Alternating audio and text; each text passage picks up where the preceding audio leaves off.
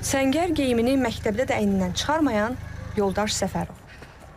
Bəzisi ona hərb dili ilə belə xitab edir, bəzisi Fərrux müəllim deyir.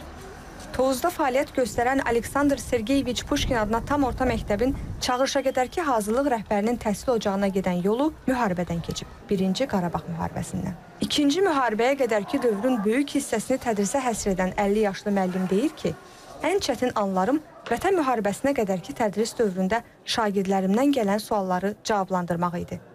Məğlubiyyətin qurutduğu dilimiz açılmırdı deyir. Vətən müharibəsindən sonra bir daha mən o suala cavab tapa bildim. 44 gün Vətən müharibəsində e, biz Azərbaycan ordusunun, Azərbaycan xalqının, Azərbaycan millətinin qələbəsindən danışdı, danışıram. Birinci Qarabağ müharibəsində Ağdam rayonu və kəndləri uğrunda, Vətən müharibəsində isə Talış, Suqovuşan, Murov, Ağdara istiqamətlərində döyüşüb.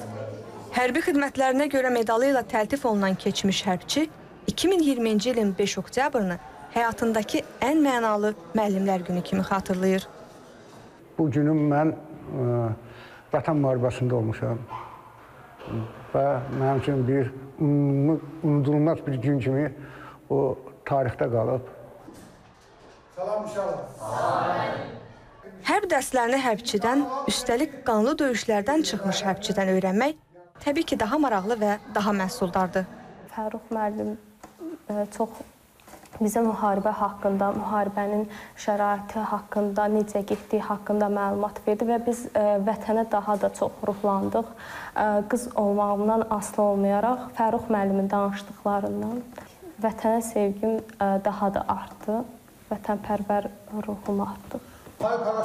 Yoldaş Səfərovla Fərux müəllim arasındakı bağlantı gələcəyə daha nikbin, daha vətənpərvər gənclər yetişdirmək missiyasını daşıyır.